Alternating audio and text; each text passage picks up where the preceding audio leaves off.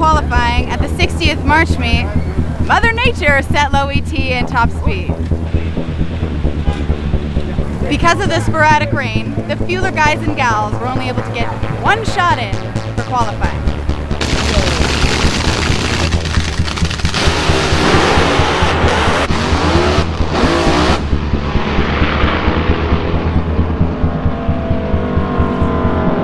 Everyone knew that the weather was going to be dicey, so they set caution to the wind, put the hammer down, pulled the brake, and backpedaled in furious attempts to put a number up.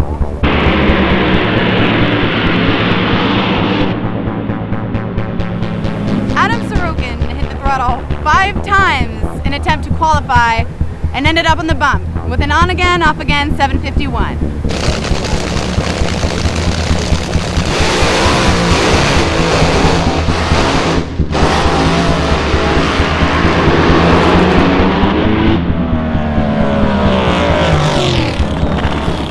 He will face your number one qualifier, Mindy Fry, in a first round ego battle where anything can happen. Tomorrow's first round is going to be insane. Pete Wittenberg, Jim Murphy, Brendan Murray, and the other fearless dragster drivers are going to be battling it out to take top fuel at Bakersfield, where dreams are made and glory is for the taking.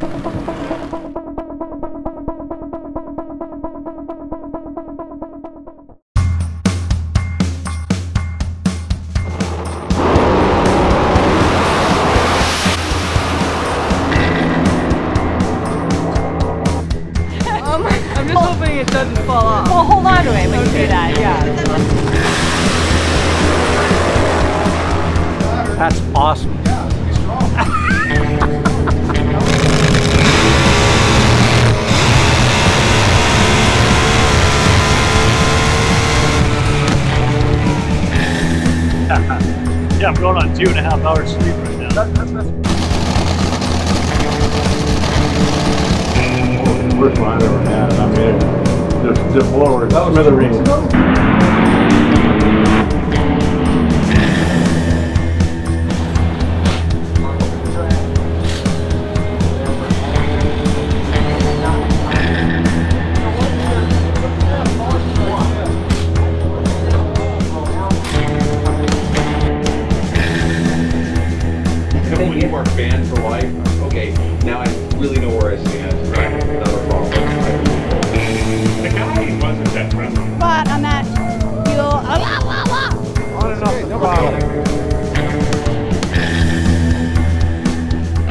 Welcome to Drag Strip Rumble, uh, our second season, and Hold this. I know we made it right. Second season. It's crazy. Uh, this is uh, Top Fuel action from the 60th March meet. This is Whit Bazemore. I'm Cole Coonce. Whit qualifying was completely off the hook, and Gonzo and somewhat anticlimactic. It really was simply because the AA fuel dragsters only got one run Right.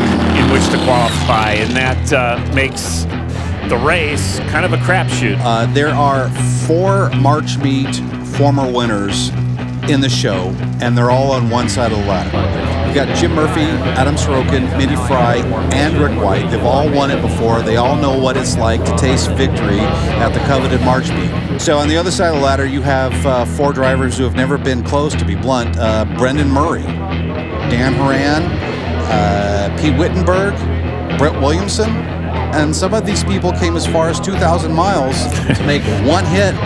Um, Tim Cullinan, unfortunately, uh, came from Illinois, got the one lick, and that's it, one and done, as it were. Uh, you have the Ruskowski uh, entry, the exhibitionist, a small block Chevy from Vancouver, uh, Canada. Also, one hit, they oiled it, they were DQ'd. yeah.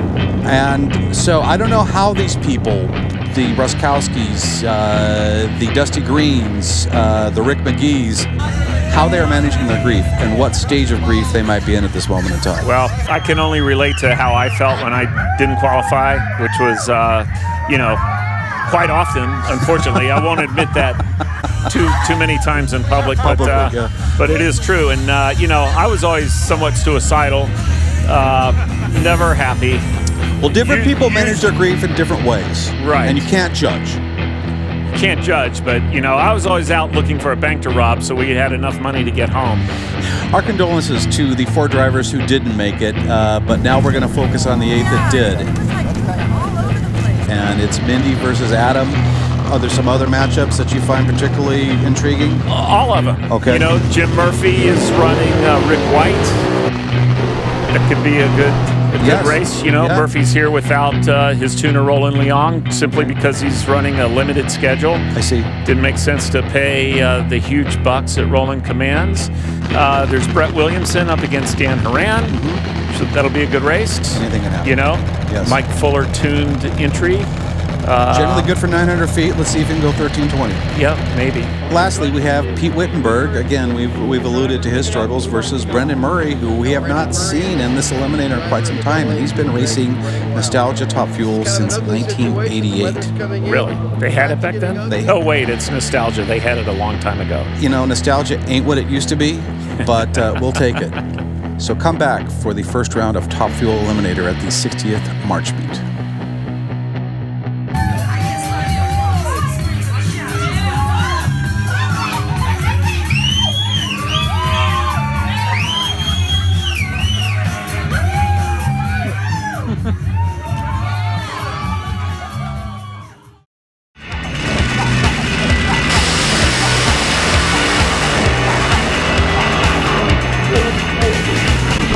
Brendan Murray, and this is the driver of the AA Fuel Dragster Running Wild. This is kind of an ugly situation. The weather's coming in, track's getting ugly. We all kind of second guessed ourselves. This is not a pretty way to be in it, but it looks like we're in the show. Pete Wittenberg, driver of Circuit Breaker Top Fuel car. I averaged one trip down the Grapevine per lap down the quarter mile. We left here at 8 a.m. No, 8 p.m. Got the motor built by 2 a.m. Got two and a half hours sleep. Got back here by 8 a.m. Put it in the car, made a lap. We got it in the show, and all is well. Welcome back to the 60th March meet, Dragstrip Rumble Top Fuel Eliminator, the second qualifying session. Scratch that. This is the first eliminator, but there was no second qualifier. There was no third qualifier. Henceforth, these guys don't know where they're at. Whit, what can you say about Pete Wittenberg's entry? Well, Pete's uh, he's kind of turned over a new leaf. He's got one year under his belt Uh-huh. as a driver, Yep. and uh, that's very important. But I think more importantly for him is he's got ace tuner and a very good driver in his own right, a great racer, in my opinion, Jimmy Young, helping him. So uh, I would say they're the favorite, but you know, last year I would say these guys were evenly matched. So when you said Ace Tuner, uh, you were looking at the footage of his backup girl. Yes, she she can probably tune him up, but uh, Jimmy Young will be tuning him up now.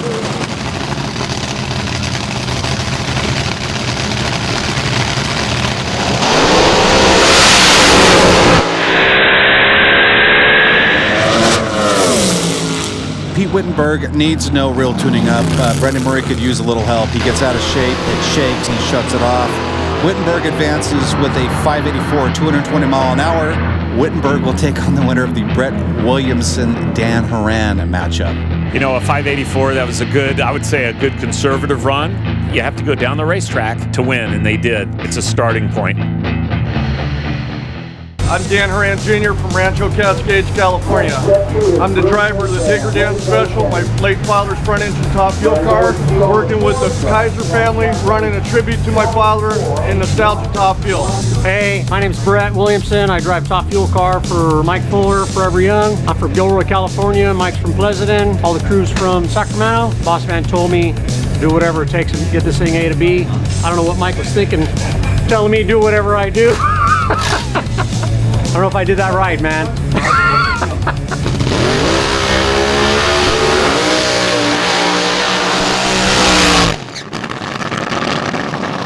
So here we go. Second pair, uh, Top Fuel Eliminator, round one, the 60th March meet. Brett Williamson versus Dan Horan. Uh, I will tell you this about Dan Horan. He's pulled out his old man's piece of pipe uh, and as an homage uh, to his dad's racing career. Dad passed away a couple of years ago. The car sat in mothballs. Moran wasn't busy enough just running a funny car. He had to run a dragster too. double duty. It has to be an exercise in schizophrenia. That's a hard thing to do. Yes. Because they're they're very different beasts. Uh-huh. And uh, but it's also something that that Brett Williamson has done oftentimes. That's true. Well, That's so- true. So both these guys have done double duty. Yes. Dan Horan might have learned more about uh, this racing surface because he has had more laps because the funny cars actually got to make three hits to the dragsters one. There is that, but uh, still, it's a clean slate. You know, um, I would say Brett. Uh, he's a he's a really good driver. Yes. I mean, he's a great racer, and he's with Mike Fuller. They have a very top-notch team.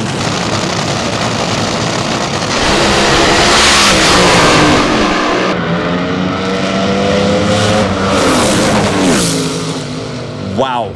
Williamson burn up a bunch down there. There's all kinds of That thing's uh, on fire, big time. yikes. Uh, he does take the wind light, uh, but did he take the fire extinguisher? That's a big fire. Yeah, 579 though. It's a good run. He got the win. It's out of the car okay. You know, these cars with the engine in front means when the thing's on fire, it's usually a problem. It's not like the other top fuel dragsters that Big Daddy came up with in Yes. 1971. When the thing's on fire, it's all behind you. But some people, uh, funny car drivers, uh, present company included, uh, and these guys are still dumb enough to sit behind a nitro burning engine and uh, try to rotate the earth. Well, at the 60th March meet, uh, Brett And the Mike Fuller team are going to have to dig deep to even make the call. Hi, I'm Mindy Fry, driver of the High Speed Motorsports Top Fuel Dragster out of Anaheim, California. I've got Alana and Morgan. These are the Nitro interns from the Bakersfield College Automotive Program. I got girl power on my team this weekend and we're gonna win this thing. so cheesy. Hi, I'm Adam Sorokin. I drive the Champion Speed Shop Top Fuel Dragster. I drove this car in qualifying with a kidney stone in my left side. What would kill most mortal men, I got in this thing and pedaled it five times to try to win this race. You tell me I don't want to win the March meet.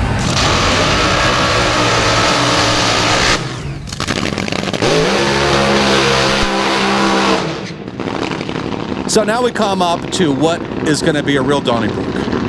Mindy is your number one qualifier versus Adam Sorokin, who barely got in with a number eight uh, shot, uh, a completely mediocre, if not uh, useless, 751. They have no data. They don't know where they are with this car. Meanwhile, Mindy is going A to B seamlessly. Well, she went A to B seamlessly once. A to B minus. It's still anybody's drag race. It Yes, really is. As much as you'd like Mindy to take care of Uh, I- for lack of a better phrase, I have no dog in this fight. But um, Adam Sorokin has often had Mindy's number.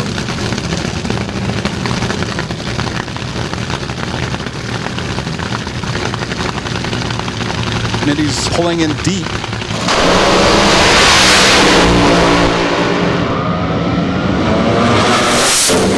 Look at this. Mindy put out the top bulb and then just drove away. She uh, murdered some pistons, but a 569 at a 261 mile an hour, that is a career best mile an hour uh, for the Nitro Kitty. Meanwhile, Adam Sorokin has to just watch her march away. He did uh, give pursuit, but it was in vain. His 611 is not cutting the mustard. Adam still had problems. He had to pedal it, but he did a great job trying. I mean, and you, that's what you do. You do not give up, Right. and you don't shut the thing off until the person ahead of you crosses the finish line. It puts Adam on the back foot for the rest of the year. They've got to overcome now a, a, a deficit in the points uh, to win the championship, and that's the goal of, of these top teams is to ultimately win the Heritage Series championship. I'm Jim Murphy out of Santa Rosa, California. Uh, we might have lucked into this deal because of the rain, but sometimes it's it's better to be lucky than good. I happen to be both. Rick White from San Diego, California, uh, with the Neal and White uh, Top Fuel Dragster. We won this race in 2011. We've been runner-up here a couple of times before that. We're ready to try to put this thing away and do it again.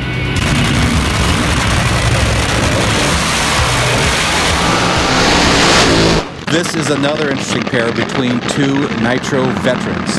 Jim Murphy, who has won this race four times, uh, as we've alluded to often, is seeking a fifth, and it's pretty elusive. But he's here this year without Roland Leong, who helped him last year to win the championship. You know, so Murphy is um, he's a tuner in his own right. And Yes. he's calling the shots on his own car. Uh, right now, uh, we're looking at Chuck Neal, who's been running A fuel cars forever. He's been running uh, front motor top fuel cars forever.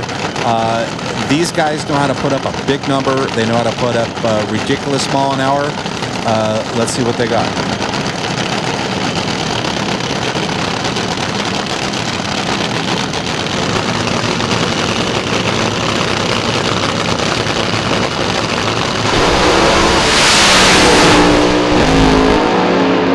Rick White uh, pedals it. His car gets out of shape. It bounces around, but at the big end, Jim Murphy does in fact advance with a 584, 231 mile an hour. But holy Christ, that's a lot of pistons he burned up. Holy smokes! You got that right. These guys, they they all just just murder their stuff and burn the hell out of it. It's it's crazy, but uh, a lot of piston smoke. So, coming up, your second round matchings will be Jim Murphy, your Heritage Series points titleist, versus Mindy Fry, your 2017 March Meet winner. The other pair will feature Pete Wittenberg, the uh, Cinderella story thus far, against Brett Williamson, assuming they can button it up.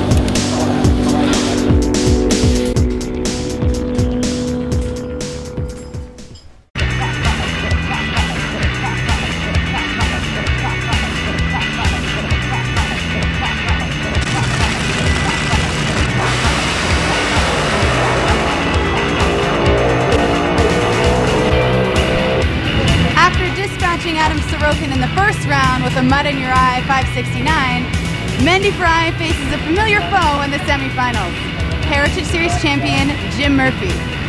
Murphy is racing for his fifth March Meet title. Mindy is gunning for a back-to-back conquest.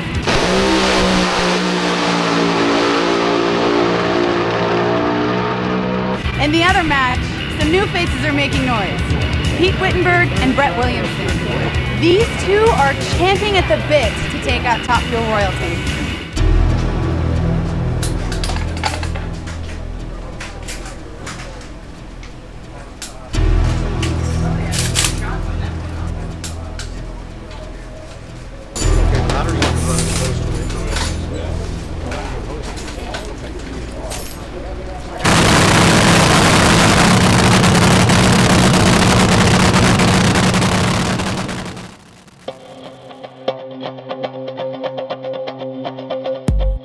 Okay, welcome back to the 60th March Meet Top Fuel Eliminator semifinal action. And we're starting to see the creme de la creme or the new creme de la creme. Again, there's new faces. There's Brett Williamson, there's Pete Wittenberg, and one of them will advance to your Top Fuel final.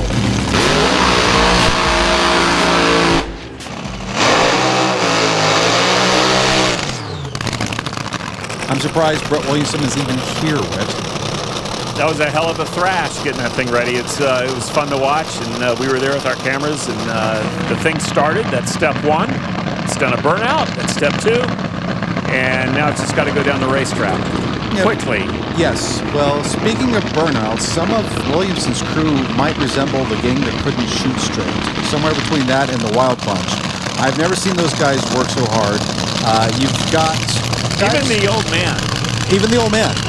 Mike Fuller was giving it plenty. I mean, is this relaxing for this guys? Is this therapeutic? Why are they doing It's this? his hobby.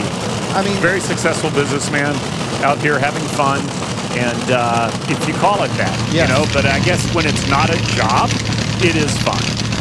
I don't know, man. If I had that money and I was that age, I would be at the beach. Jim Young is a two-time March Meet winner who is not driving this year, or at least not at this event, and he Yeah. has volunteered to help Pete Wittenberg out, who could have used the help, and apparently it is paying dividends in the fact that they're at least in the semifinal round.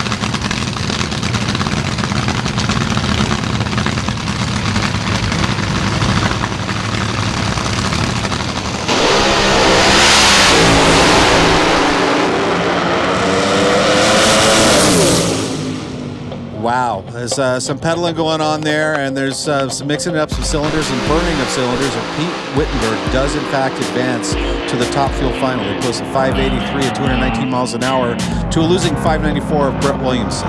Pete Wittenberg is going to be in the March meet final. That's very cool to see. You know, you like seeing an underdog guy like that uh, doing really well. It's very cool. You know, uh, good racer. Yes. Obviously. Yep. And he's a good racer because he got help from Tom Shelar. He got help from Jim Young. Right. He's a guy doing whatever it takes to be successful and have a fast car. The definition of a good racer. You do whatever it takes. Even if you can't afford it, you still do it. There are some that said that you could use some help. Would you be willing to accept help? Now? Yes. No. So you're not a good racer. Well, I, I had a lot of help back in the day. But uh, yeah, I don't know. Do I? Yeah, I don't know. I'm, you got me confused now. Many of us need help. I'll leave Yes. it at that.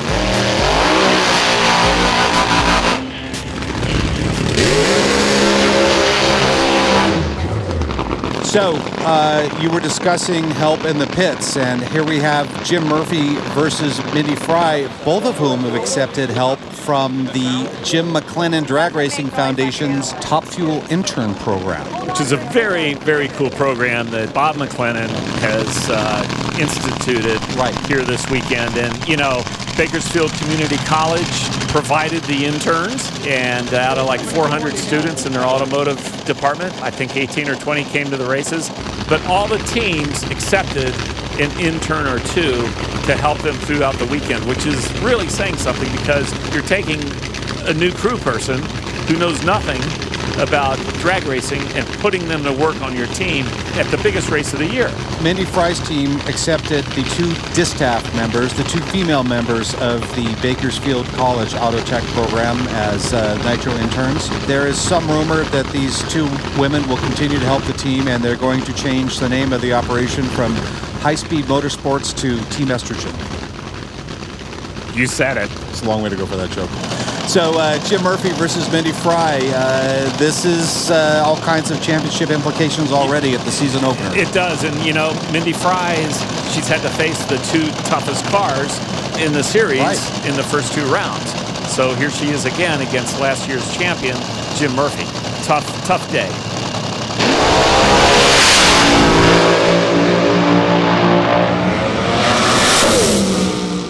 Mindy marches Right down there. towards a potential second consecutive March meet title. Her uh, 560 at 250 miles an hour will make her, I would say, the prohibitive favorite in a March meet final against the Absolutely. sophomore Pete Wittenberg. Yeah, absolutely. A 560. I mean, tremendous performance out of that car. So I think the drama is going to be um, they're going to get this thing in. The weather's been inclement. Uh, they are marching to finish this thing tonight.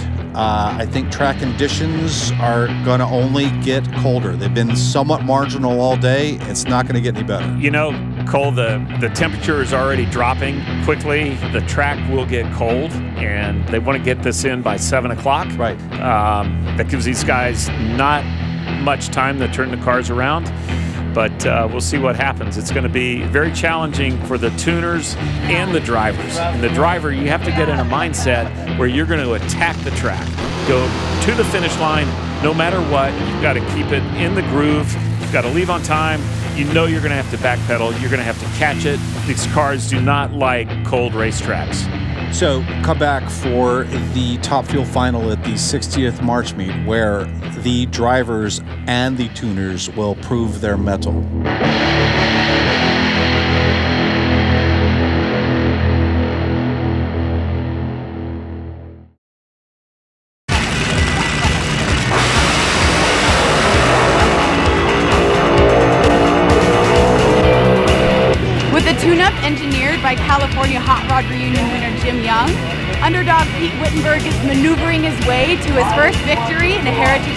Top Fuel car.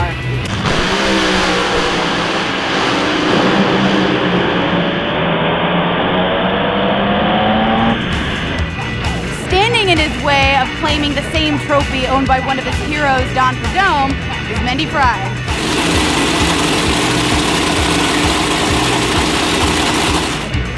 In 1962, March Meet made Don Prudhomme's career. Will fate be as kind to Pete Wittenberg? or as Bakersfield is another boulevard of broken dreams.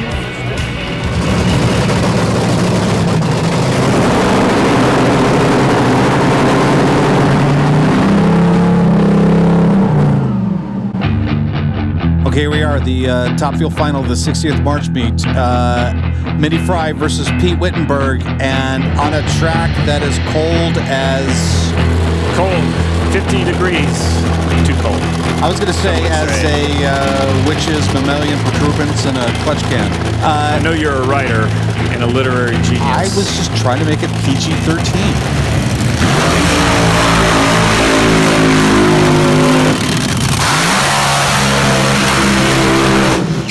So these guys have definitely got to figure out what's going on with this track, driver and tuner alike. Yeah, it's going to be extremely challenging. You know, now the, the tune-ups are in the car. I know, um, you know, both of them detune their cars. You've got to just try to get the car to go down the track. And as a driver, you have to be in the mindset to get it down the track no matter what. So Mindy, of course, is the defending champion. Pete Wittenberg, until today, had only won one round in his young career, and that was at this race a year ago. So, um, you know, you have to go with Mindy as having the experience, and because it's really difficult to drive these cars when they're in trouble. When everything's perfect, it's kind of easy. They go dead straight down the racetrack. It's when things aren't right that they're challenging. So it's so easy a girl could do it? Was that where you were going with that? Uh, sometimes. Sometimes. Sometimes a girl can do it. Mindy's one of the best in the business. Well, let's see how this shakes out.